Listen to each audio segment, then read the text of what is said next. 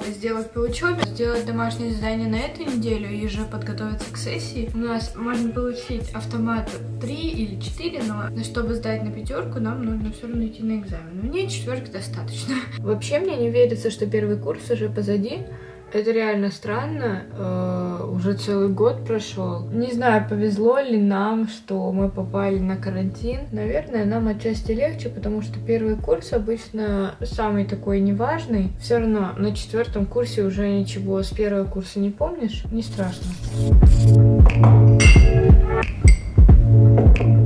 А, сахар я не пью, особенно сейчас, когда я пытаюсь похудеть. Использую сахарозаменитель. Я использую не сахар, мне кажется, из-за этого у меня получается не такая консистенция, как должна быть.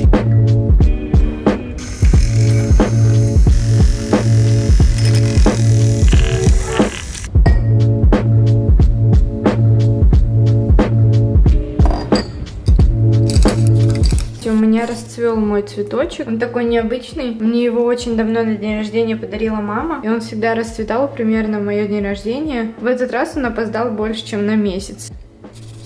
Сейчас я читаю книгу «Лекарство от меланхолии». Мне посоветовал кто-то ее в Инстаграме, по-моему, а, кто-то из родственников или из друзей, не помню. А, вспомнила, сестра моего парня. Ну, без разницы, почти родственники. Пока ничего про нее не могу сказать. Я прочитала только три первых рассказа. А, дается она мне тяжело. Может быть, мне не подходит такой формат или, или просто не нравится, как пишет автор, потому что Влад говорил, что ему не нравится, как пишет э, Брэдбери. Вообще, каждый месяц я хочу, например, выпускать какие-нибудь ролики, типа фавориты месяца или фавориты книг за месяц, потому что я пытаюсь себя заставить читать одну книгу в неделю и я бы могла тогда каждый месяц делиться впечатлениями о четырех книгах, которые я прочитала. Я, конечно, не буктюбер, но меня вдохновили на чтение блогеры. И было бы классно, если бы я вдохновила на чтение кого-то еще, как э, меня когда-то. Я люблю вставать рано, но иногда у меня не получается. Я люблю сидеть у окна до 12 и просто наслаждаться, читать, заниматься какими-то делами. Было бы, конечно, классно, если бы у меня солнце было в квартире на протяжении всего дня, например, например, первую половину дня из одного окна, вторую половину дня из другого окна. Много хочешь, Алина.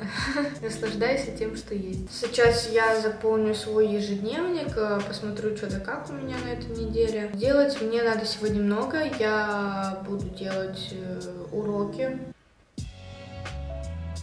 Вообще мне очень нравятся последние развороты, которые у меня получились. Вот это за прошлую неделю. Тут у меня трекер по похудению, трекеры по YouTube Инстаграму. Я а, поставила себе цели каждый день читать и каждый день выкладывать что-то в Инстаграм и что-то делать для YouTube. Вот э, галочки это я монтировала, и закрашено я, значит, выложила видео. Такие вот у меня списки на неделю. И следующая неделя у меня примерно такая же.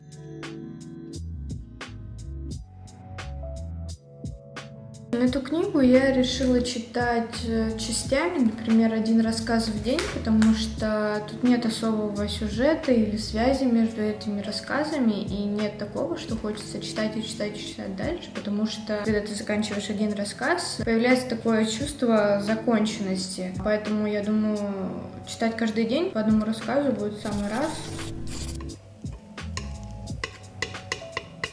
Люблю растекшийся желток начала пить воду с лимоном. Я раньше думала, что это вообще отвратительно, но попробовала и поняла, что в принципе терпимо, если добавлять э, адекватное количество лимона. Я не знаю, будет ли это способствовать э, моему похудению. Обычная вода вкуснее. Яичница без масла готова. Сейчас будет онлайн-семинар, я в таком небольшом предвкушении, с чашечкой кофе, там, с бумагами уже, а, потому что с видеосвязью мы никогда не входили. Вот, будет интересно, я засниму процесс.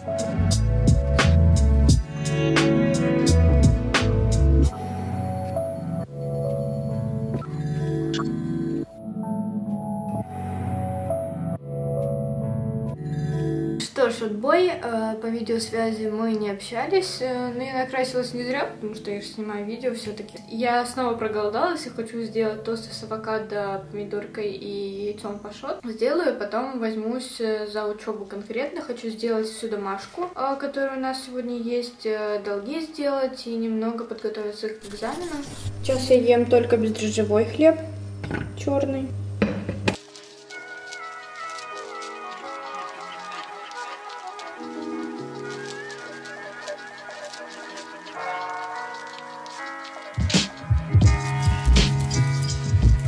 Я также добавляю в авокадо еще немного чесночка и немножко соли.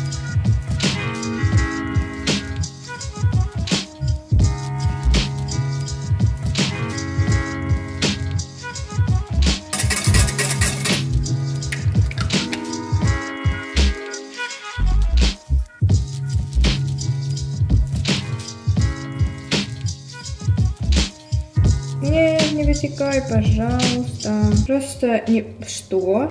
Тут то ли было яйцо в яйце, или два желтка, или что, я не понимаю. Я думала, сам, сам желток э, растекся, но он целый, но тут есть тот же самый желток, который растекся.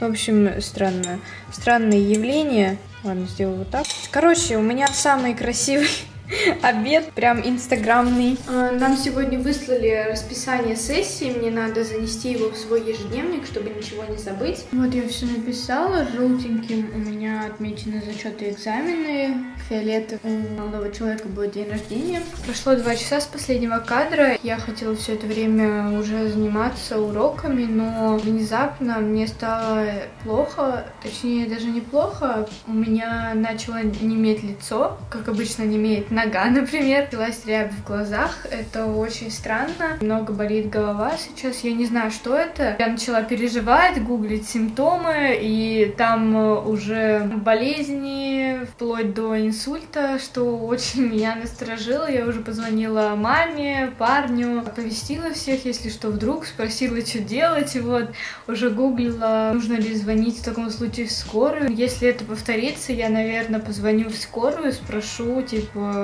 нужно ли мне беспокоиться, и, не знаю, если это реально, ну, страшные симптомы, то, конечно, они, наверное, решат приехать.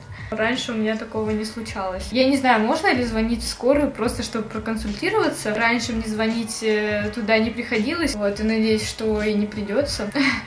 Давайте делать уроки вместе со мной.